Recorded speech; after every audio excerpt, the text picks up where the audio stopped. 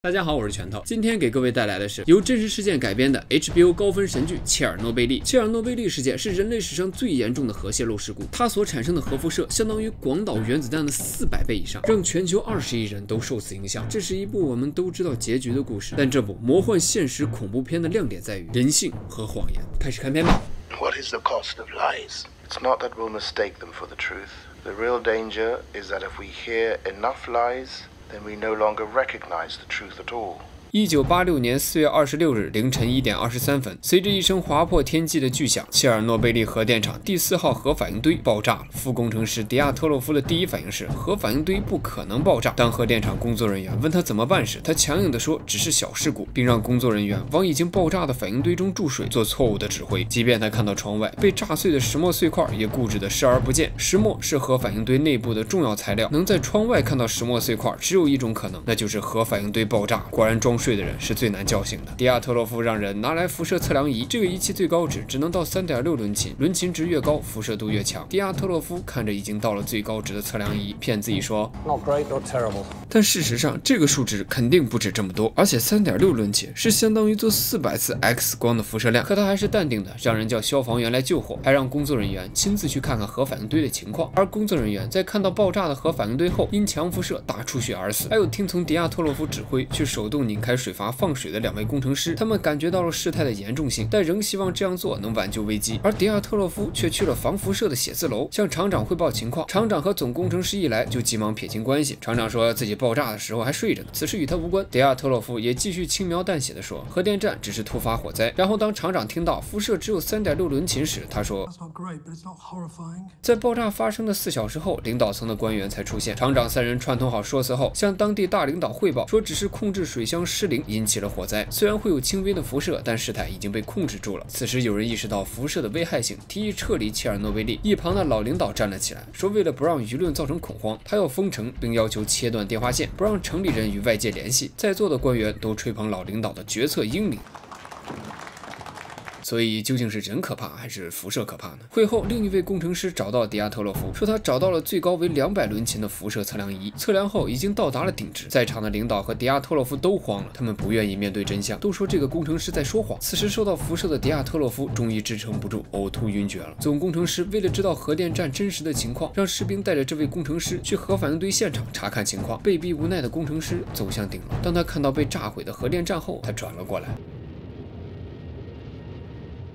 被强辐射的他不久将会痛苦的死去。在总工程师等人终于相信核反应堆爆炸后，他们十分的愤怒与恐慌，但还是决定隐瞒事实。这个决定注定会让更多无辜的人面临死亡。亚当是个普通的消防员，在爆炸后和妻子吻别，第一时间到达了核电站。他和同事们虽然闻到了很重的金属味，但因为对核知识的匮乏，都只是以为闻到了某种化学成分。一个消防员很随意的拿起了一块核反应堆爆炸后散落的石墨，令众人没想到的是，短短几分钟，他的手就因强辐射从内到外都烂。掉了，消防员们很恐惧，但不知该如何正确的应对，只能服从命令去反应堆里灭火。所有靠近反应堆的人都受到了强辐射，满脸通红，等待他们的将是痛苦的死去。而火灾的另一边，人们看着远方爆炸后产生的奇幻光束，纷纷走上桥。他们不知道那美丽的光束其实是核爆后的电离反应。这些人喝着酒，聊着天，还有人抱着小婴儿，看着天空中像雪花般飘落的东西。他们惊喜地看着这一切，但事实，死神已悄然降临。这些飘落的灰正是核爆后石墨燃烧。所形成的每一粒核尘埃里都伴有强辐射，这些人此时都已暴露在强辐射之中。第二天，医院里挤满了因核事故受伤的人，而医院连应对辐射的药物碘片都没有。民众们都不明白自己为什么会突然这么痛苦，他们只知道自己的病可能治不好了，也出不去城了。消防员亚当的妻子杰西跑到医院找丈夫，但被告知丈夫被转移去了大医院。杰西获得了特别待遇，可以离开切尔诺贝利去找丈夫。到了医院后，医生叮嘱杰西不可以碰触被辐射的人，但杰西不懂为什么不能碰。在看。到丈夫好像恢复了后，便开心的和他拥抱了。但没过多久，亚当就痛苦不堪的浑身溃烂了起来。另一边，列加索夫是石墨反应堆的专家，因为切尔诺贝利的爆炸，他被要求参与国家高层会议。而这时的高层还不知道切尔诺贝利爆炸的真相。会上，副主席谢尔比纳觉得没什么事，切尔诺贝利的辐射量应该就像是多拍了几张 X 光而已。专家看着领导们对这场灾难的无知，再也忍不住了。他说，在报告中看到一个消防员拿起了一块石头后，手马上就开始溃烂并身受重伤。专家。家料定那块石头是核反应堆爆炸后飞出的石墨。专家向大领导们报告事情的严重性后，大领导让专家和副主席一起去调查真相。到达切尔诺贝利上空时，专家被眼前的景象吓到，副主席竟还要执意飞向核反应堆上方一探究竟。专家很愤怒地制止了他，因为从上面飞过去，核辐射会害死这个飞机上的所有人。两人到达当地后，厂长等人接待了他们。这俩人还想隐瞒真相，说核电站不可能发生爆炸，说专家是在造谣生事。于是专家提议，那用测量仪去测一下，不就知道了吗？副主席同意后，在场的一名将军亲自去核电站测量，回来告诉众人，测量的结果是一万五千伦琴。专家说，这意味着核反应堆已完全暴露，辐射的威力相当于二十颗原子弹，并且辐射不会停止，直到辐射范围内所有人都死光。厂长和主工程师的谎言在真相面前不堪一击，随即就被领导给罢免了。副主席想用水灭火，专家说水是浇不灭的，水还没浇下去就会被蒸发。我们所面临的是一场史无前例的灾难，当下最重要的是疏散群众。副主席焦急地想让专家给出解决方案，并听说他接到命令，疏散群众是不可能的，因为得保密。现在只能先救火。专家说，或许五千吨硼和沙子可以灭火。之后，专家被安置到酒店，他在前台喝酒时被认出来是救火的。有人问他需要担心这场火灾吗？专家知道不能引起恐慌，便撒谎说不用担心。不久后，专家和副主席指挥直升飞机用硼和沙子去救火，因为飞机离反应堆太近，两人眼睁睁看着飞机因强辐射坠机。专家回到房间，感到很绝望。他和副主席说，这个城市有五万人，五年之内会因辐射而死。不懂这些知识的副主席从没想过核辐射竟如此恐怖。这时他接到电话，瑞典的核电厂已经检测到了来自切尔诺贝利的辐射，国外的媒体现在都知道了。此时风正把强辐射吹向德国等国家，德国政府已经禁止孩子们外出活动，但切尔诺贝利的孩子们还在照常上学，根本不知道发生了什么。爆炸发生三十六小时后，政府终于下令撤离切尔诺贝利的居民，而之前说要死守这里的老领导跑得比谁都快。另一边也发现切尔诺贝利核泄漏的女学者霍缪克，当得知专家用了硼和沙子灭火时，他马上不顾危险去了切尔诺贝利。女学者找到专家，指出专家用硼和沙子虽然扑灭了火，但会带来更恐怖的威胁。反应堆中的铀会融化沙子和硼，把它们变成熔浆。现在核反应堆附近的水箱应该是被注满，当熔浆碰到水箱的一瞬间，会导致严重的热爆炸，方圆三十公里所有东西都会被摧毁，包括临近的三个反应堆。引起的第二次爆炸将会影响整个苏联这个几千万人生活的地方，至少一百年不再适合人类生存。而挽救这一切的时间只有两天。他们向高层领导报告这一切后，说出了解决方法，那就是牺牲三个熟悉反应堆内部的工人，让他们冒着强辐射去里面抽水。高层们都同意了这个计划。当工人们聚在一起时，专家最开始没有说明危险性，只说每年会给四百卢布作为补偿。但工人们谁也不傻，知道进反应堆内部用不了几天就会死。见此情况，副主席只能把真相说出来。最后，为了拯救几千万人的生命，这三个人果断站了起来。他们的名字值得被人们记住。Onanenko.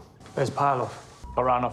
三人去到了工厂下面，这里的强辐射让灯很快的熄灭了。在黑暗中，三人陷入绝望。其中一个人拿出了手持发电筒，让光又重新亮起。他们最终成功完成了抽水。毕竟，身处黑暗之中，总有人化身火炬，点亮希望。女学者为了调查出核爆炸的原因，去了迪亚特洛夫所在的医院。工程师们忍受病痛，回忆着每个步骤，绝望地说自己真的没有做错。女学者陷入了更大的谜团。另一边，副主席问专家，被辐射后的人究竟会怎么样？说到辐射，拳头这里想说一下，辐射有很多种，有一种辐射是伽马射线，相信很多漫威迷不会陌生。班纳博士就是因为这种射线变成了绿巨人。在漫画中，辐射让人变异，成为拯救世界的超级英雄。但在现实中，暴露在强辐射中的人，早期身上会起水泡，之后水泡会消退。让患者感觉自己正在康复，但这其实是潜伏期。一到两天之后，患者会陷入真正的痛苦之中，他们的细胞会遭到破坏，然后骨髓坏死，内脏也开始腐烂，最后全身出血，痛苦的死去。那些无辜的消防员，他们死后为了隔离辐射，会被放入特制的铅棺材下葬。专家还和主席说，他俩也会死，会在身患各种癌症中慢慢死去。不久，专家发现熔浆比想象中更快的在渗入地下，如果不阻止的话，核泄漏将会流入地下水，污染河流，五千万人将因此没有干净的水喝，周围的牲畜和植物都会死亡。他们想要阻止这件事发生，就需要全国的液化氮来解决熔浆渗入。方法是让矿工挖入核反应堆下方，安装防止熔浆渗入地下水的装置。政府找到矿工，让他们去切尔诺贝利挖地道。矿工们知道不能拒绝，只想尽快完成任务。他们没日没夜的挖地道，太热就光着身子工作，直接暴露在辐射之下。工作的进度非常快，副主席和专家都看傻。当工头过来问副主席，如果他们出事能不能被照顾时，副主席却诚实的说他也不知道。没有得到保障的矿工们仍然。然完成了任务，解除了核泄漏污染水源的危机。专家再次向领导们汇报情况，说迫切的危机虽然解除了，但接下来将是一场持久战，需要三年时间处理被核污染的地区，范围约一百平方公里，必须将切尔诺贝利附近的树林夷为平地，杀死所有附近的动物，扩大疏散人群的范围，在泄漏的核电站外围建立围墙等。这场清理需要约七十五万人，其中包括了技术人员、医生和劳动力，而他们中大部分最终会因辐射而死。第三集到这里就结束了。这个迷你剧一共五集，后面就是切尔诺贝利的后续处理了。人们沐浴在阳光下，处理着核污染，四处弥漫着死亡的气息，正像诺贝尔文学奖得主阿列克谢耶维奇在我不知道该说什么关于死亡还是爱情中写过的这段话一样，让人感到绝望。这三集的故事就像开头所说的，我们听多了谎言，就真的无法分辨真相。负责人从最开始隐瞒真相，到越来越多的相关人编造谎言，让无辜的人们用错误的方法去阻止这场浩劫，从而导致了无数人的惨死。这种绝望是不给你真相，不放你出去，甚至连你快死了都不告诉你。拳头之前还做过一期末日浩劫的纪录片解读，讲的是如果遭遇核危机该如何保命。只希望里面的技能大家永远都不需要用到。好，青山不改，绿水长流，咱们下个故事见。